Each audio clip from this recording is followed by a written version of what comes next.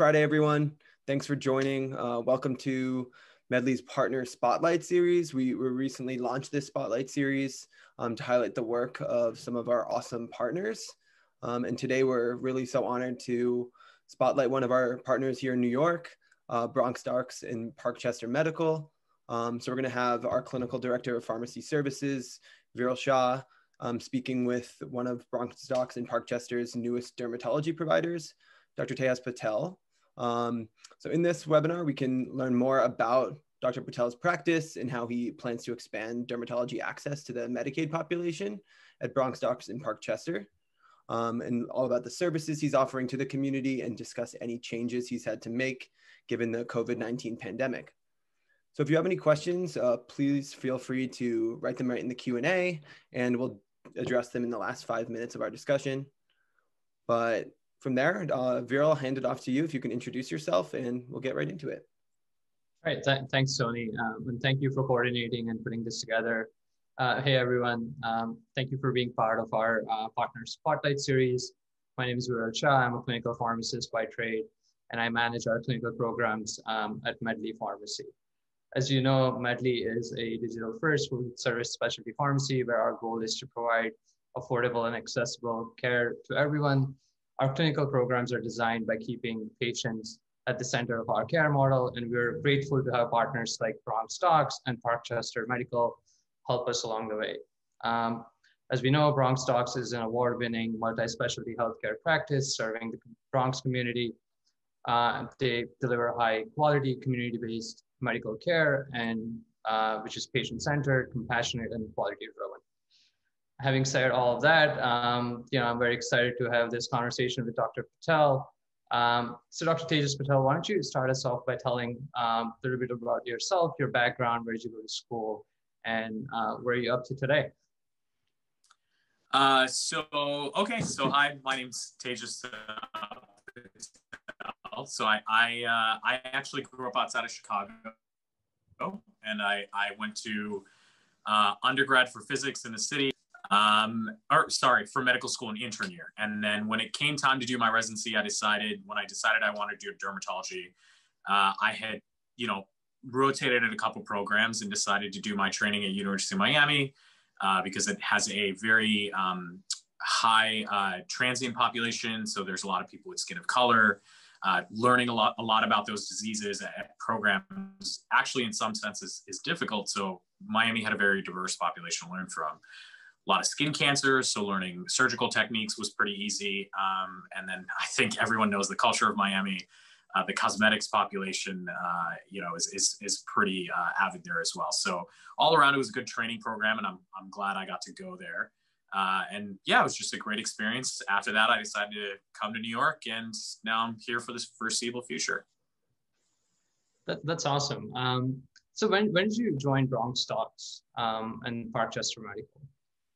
So I started here. It's it's probably coming up about a year now uh, that I started. Um, when I so my my original practice, practice is based in Brooklyn, and uh, when I first spoke with Neil, who leads Bronx Docs, uh, he told me about his vision for how he wanted um, to uh, give great care in an underserved community. And I think a lot of a lot of us in medicine, you know, can can agree with that kind of mission statement.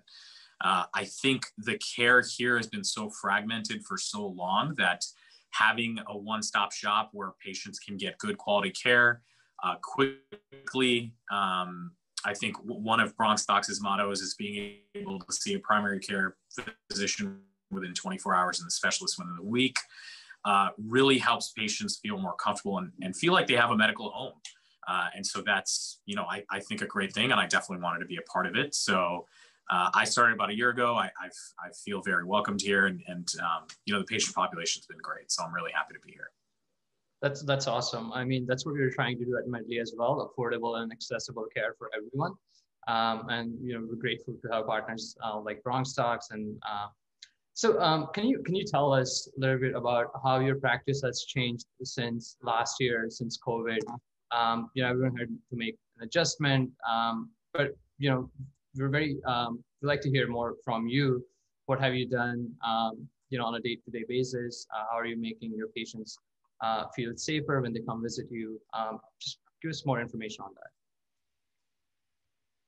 Sure. Uh, so, you know, obviously, uh, COVID has kind of upended everybody's life. Uh, I don't think there's any part of um, the world that is untouched from this. Um, you know, in medicine in general, I think the, the general things that everyone is doing, we're, we're also doing here to care for our patients. Temperature checks, questionnaires, asking them if they've been sick or been around sick, sick contacts and things like that.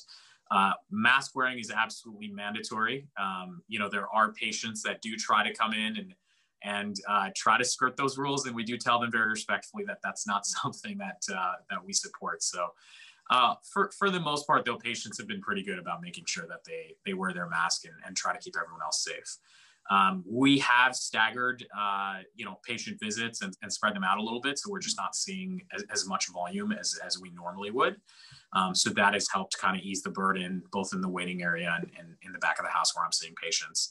Um, and you know, when they're in the exam room with me, like I said, wearing masks, uh, standard safety precautions. Um, in dermatology, it's it's been a little bit challenging because basically all of my job is is is on examination, right? That it, there are very few times where we look at labs um, and tests and things like that to to do the work. We really just examine the person's skin based on inflammatory patterns and and the the uh, how the rash looks is kind of how we make our diagnosis. And a lot of times, especially when someone comes in for stuff on their face, it's it's a little bit difficult to get around the fact, uh, you know, that the mask is there. Um, but for the most part, we've we've found ways to deal with that as well. They can, you know, kind of hold their breath and just move their mask, and either we take a picture or I just take a quick look, and that that gives me enough idea as to uh, how to deal with the problem. But um, yeah, it's it's definitely made things more challenging on the on the medical front. On the cosmetic front, I'll be honest, it's it's both. Uh, there, there's actually a couple differences. Uh, some people um, in terms of uh, they, they see themselves on Zoom calls like like the one we're on now, and they they look at themselves on the call and they get self conscious and they're like, oh, I didn't notice this about myself before, and now I see it every day when I'm on the Zoom call. And so we've actually had some a lot more patients come in, you know, just mentioning that. Uh, on, on the flip side, there are other patients that we used to see more regularly that had client facing jobs, PR, and things of this nature that just aren't out anymore. Um, and so, because they don't have the same social life and because they just don't have even the same professional life, uh, they, they don't feel like they need to, to do the cosmetic stuff anymore. And so, that's been an interesting kind of dynamic between the two. Uh, and then just a lot of the work that dermatologists tend to do is on the face, like I said. So it's, it's, it's been a little difficult working around masks and whatnot. Um, when our staff is in the room with the patient, uh, we do wear N95 masks if we're going to do a procedure that's going to be long on the face because obviously then the patient can't be wearing a mask. Um, but outside of that, that's kind of how, how we've dealt with it both on the medical and cosmetic side. Th- th- that's actually very interesting. Um, uh, and just to add to that, um, are there like any specific skin conditions where you are okay with like just seeing patient virtually as opposed to having them visit you in person? Um, can you can you like elaborate on that as well? Yeah. So so the great thing about dermatology is, like I said, it's a completely visual field for the most part. Um, and so if there's any one field in medicine that is great for telemedicine, it's, it's dermatology. Um, so right at the cusp of when the pandemic broke out late March last year, and everyone switched to telemedicine in April, May, and June uh, fully 100% of the time, uh, dermatology was probably one of the easiest things to transition pretty seamlessly um, you know, it, it, was pretty easy for me to follow up on patients, give them care, send their medications to the pharmacy, kind of tell whether or not they were doing better just based on what I was seeing. Uh, you know, I, I technology has gotten as good as it came. That great of a replacement of someone coming in to see me, um, but you know, it is it is something that that helped. Uh, and I, I think the big thing, both on the uh, payer side, the provider side, and, and on the patient side is that, you know, prior to the pandemic, nothing really pushed anyone to adopt telemedicine or become comfortable with it. Um, and now, because of this thing that's going on, we, we all kind of were th- thrust in at the same time and, and, and figured it out. And I think in dermatology, especially, it's gone very well. Uh, there, there are just so many um, technology platforms that, that help, um, you know, keep that connection, help us you know take appropriate notes and all those things. And and it's it's just been it's been a really easy transition in my field. So would you say that going forward this will become like the normal standard of practice that patient may come in to see you in person but they'll do follow-up via video call? Um, just you know if, if it's very visual you know you can just look at them and be like okay this medication is working for you. This is not working for you. Um, it, do you think that's going to be the standard of practice going forward So I will say, I think it's going to be a much more common part of the practice than we previously would have predicted prior to COVID. Uh, on, on the, you know, in, in dermatology, there are really three key areas the medical dermatology, so acne, skin uh, rashes, things like that. Surgical dermatology, which is uh, either can be cosmetic or usually more um, skin cancers, cutting out skin cancers and things like that. And then the cosmetic. So the last two fields, the surgical and cosmetic, are, are obviously a little bit more difficult, if not completely impossible to do by telemedicine visits. You can basically only really do a consultation or I have this blemish that I don't like. You might be able to talk to them, but after that, you have to do a procedure. And for that, they'd have to come into the office. So those two parts of the field will still be done in person because there's just no replacement for that right now. Um, on the medical side of things, I I think it will become more common for people to see, especially follow-ups uh, with the more comfortable for both the patient. Our waiting areas aren't filled up, or our exam rooms aren't filled up with people that I can just check real quick and be like, oh, okay, your acne's gotten 80% better, but hey, I'm going to send this wash that'll make it 100% better. Uh, and and that type of dynamic, just quick follow-ups and, and being able to see the problem and, and adjust to it uh, does make it does make me think that we're going to be doing a lot more telemedicine. Um, not completely, but as I said, but a lot more than we had in the past. Yeah, um, that that makes total sense. Um, uh, one of the very common questions that we get at a pharmacy level is that um, you know it's specific to like acne. People will come in, they're like, hey, when do do you think we should like use topical acne creams or as opposed to like going to the doctor um, and you know getting like an antibiotic for the treatment? Um, how should we like respond to that as a pharmacist i mean uh, you know we we don't diagnose but we we give them like recommendations on what they can use over the counter but it's very hard to tell someone that hey you know why don't you just go see a doctor and um, maybe right. you know, yeah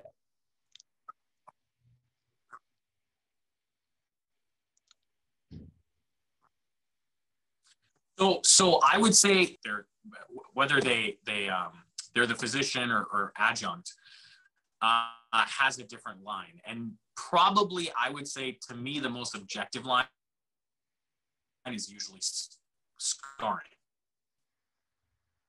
Right? So if the patient's scarring, you know, the, the thinking there is scarring, it, you know, it requires lasers or needling, things like that to get rid of. So really the whole reason we treat acne is to make sure the patient doesn't continue to scar. And so I would usually tell people both in primary care and, and uh, you know, our, our partners in, in pharmacy that if you see a patient has scarring acne, then it's probably best for them to see a dermatologist sooner rather than later. Mainly because if you put them on on washes and creams and things over the counter that just don't work, they'll continue to to get gather more and more scars in that time frame when they could have just been seen and tr- been treated and, and been intervened on appropriately so that way they don't get that scarring. Um, when it's non-scarring acne like blackheads, whiteheads, and things of that nature, a lot of the over-counter stuff does work. Um, and you know, it just requires educating the patient for like about five or 10 minutes and making sure they're using things appropriately. A lot of times I find, let's take Differin gel, which just went uh, uh, over the counter recently. Um, you know, a lot of patients, a lot of patients I find they'll say, oh, I, I, have this acne here and I, I put it there. Uh, Differin is it preventatively in the entire area of acne. So really what the patient needs to do when they're using Differin is, is to apply it to one general area. And a lot of times it's just telling the patient like, hey, make sure you use it all over your face, or let's say they just get acne on their cheeks, then use it all over your cheek instead of to each spot, um, because it's preventative. And and just clarifications like that can save them a trip trip to the doctor no, that's that's uh, great information. Um, how do you how do you see um, the field of dermatology changing going forward? Um, I know, I know there is more awareness now, so people are, um, you know, like going to the doctors, you know, for their skin conditions, and something that very interesting that you mentioned earlier is that people are on Zoom calls all the time, and now they're noticing like their face more, and you know, and all of a sudden they're like, well, I need to go see a doctor. Um, but um, at yeah. what point, like, you know, if they notice something, should it go to the doctor right away, or like, what, you know, what are the best practices when it comes to like taking care of your skin? So, okay, so first thing, I mean, every dermatologist's primary job is yeah. to make sure we're treating skin cancer, right? Because out of everything we do, uh, that's the most serious, especially melanoma.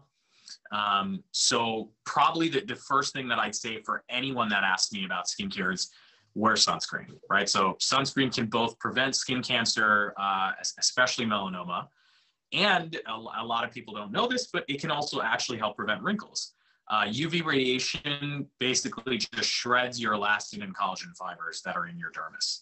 And so over the course of time, um, that's why people look very old and wrinkly, right? So if you if you see the the you know, and I'm not naming anyone in particular here, but if you see the women in Florida that look like leather handbags, the reason they look that way is because they haven't worn enough sunscreen over the course of their life in Florida, right? So if you want to avoid that look, the best thing to do is wear a very high SPF sunscreen, um, broadband UVA, UVB coverage. Uh, water resistant if you're going to be swimming in the ocean and things like that, um, and and mineral based sunscreens like titanium and, and uh, zinc containing ones are always the best ones to use. Uh, so that's probably the first thing I'd say about skincare um, is just, you know, cancer prevention. Uh, the, the second thing, I, I think, uh, unless you're living under a rock, everyone's seen how big skincare has become in the last 10 years. Even when I chose to do dermatology as my residency, I don't think I nor anyone in my field predicted that it would be as big as it's become today. Um, all over the news, celebrities are pushing products and starting companies and things of this nature uh, you know, a lot of people are a lot more conscious about just the, the space they put forward basically on a day-to-day basis.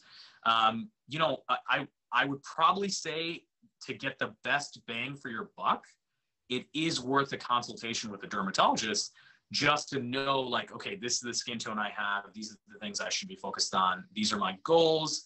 And based on those goals, these are the products that, um, you know, will work for what I want to do a lot of times I tend to get patients who have already been on a skincare regimen for two or three years, and they're like, well, I use this toner and it has this ingredient and whatnot. And it's all fine and good that they've kind of read up on it, but to be honest, a lot of times, a lot of the things are contradictory. They don't work together well, or they're not using the right thing for what they want. You know, they'll say, okay, I have these dark spots, and they're using something that may even make their skin darker just because they they didn't have anyone directing them right it's just marketing uh, that's telling them that, hey, you should use this or that. And so getting that initial consultation with a skincare provider, and, and, you know, you could just tell them, like a lot of my patients either bring the bottles that they're using with them or just take pictures. And they just say, hey, these are the things that I'm using. What do you think? What do you like? Um, and, you know, for, for people on my side of the, the fence, uh, we're usually having to keep up with every new product that's coming out. Uh, I know me and my fiance, uh, we have to try out new creams and washes all the time because we never know when a patient's going to come in and ask us like, "Hey, what do you think of the Ordinary's new serum or something?" Right? Um, and so, I think a lot of patients tend to think as dermatologists, "Oh, I have poison ivy, I'll go now." Uh, the breadth of the field is, is a lot wider, and uh, and it would it, it, instead of wasting two years on buying 15 different potions just stop by the dermatologist, talk to him once, we can direct you to, to the correct thing. So that way you're, you're getting the most of your money. Uh, thank you. Thank you so much for that. Uh, and lastly, uh, any of our audiences or uh, if anyone needs to get in touch with you, how, you know, how should they contact you?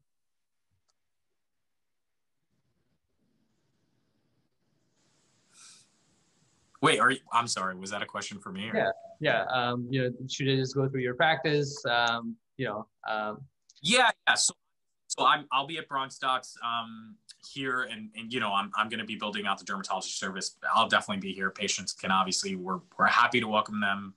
uh, the practice is still growing, so we definitely have uh, room for people to come in. Um, and then I have two offices in Brooklyn, so I'm happy to see people there as well. Um, yeah, I, I, think the best way, the first time especially, um, the first time especially i think the best thing to do is, is to come see me so that way i can at least put a name to a face. And then i most of my patients i actually give them my email address. So a lot of times instead of them having to call and be put on hold and maybe the message doesn't get to me i respond to my patients by email all the time. So I'm, I'm usually always accessible. Great. Thank you. Thank you so much. Um, i think we're gonna no problem. Yeah. Yeah, Dr. Patel, Viral, that was great. I'm, I'm, I'm really grateful that we were able to connect. Um, I, we have a one question that from the audience um, for Dr. Patel. So Dr. Patel, what percentage of your practice is cosmetic versus medical and how does insurance coverage impact that? So uh, the cosmetic part of our practice um, at Bronx Docs, right now, we're still building out the cosmetic uh, service. So it's it's probably I would say 10 to 20 percent now here, 80 percent um, uh, medical. At my office, it's probably more like a 60-40 split. Uh, when it comes to when it comes to um, let's say like you said you're juxtaposing both cosmetic and, and medical a lot of patients don't realize that a lot of the things that they think should be cosmetic end up being, uh, sorry about that so a lot of the patients don't realize like a lot of the things end up being covered by uh, medical visits. And so, you know, getting that initial assessment is, is the best way to tell. Um, conversely, a lot of patients do come in thinking everything is covered by their insurance company when a lot of things aren't, unfortunately. And so there's really just no substitute for coming in and just talking and addressing your concern. Usually, for the most part, at least the first time, the visit itself and the consultation can can be covered by insurance, unless, let's say, Tony, for the sake of argument, you're like, hey, like I know that I want Botox. And that's the only thing you're coming in for. Then at that point, even the visit's not covered. But for the most part, for those for the most part, for those patients, we usually do the consultation, um, you know, but uh, just on the house, and then we kind of walk them through the options based on what they're looking for. Gotcha. Okay. No, very interesting. And and I'll say you hit the nail on the head when you said patients are are checking themselves out in Zoom calls and and getting a little stressed out. I feel like we're we've all been there. Um, but I think we're at time, right. and this is this has been awesome. So really, really grateful that um, we were able to have this conversation and um, spotlight both Bronx Docs and Parkchester Medical and Dr. Patel. So thanks everyone for joining, and we'll see you on our next spotlight series. Thank you. Thank you. Thanks, Viral. Have a good one.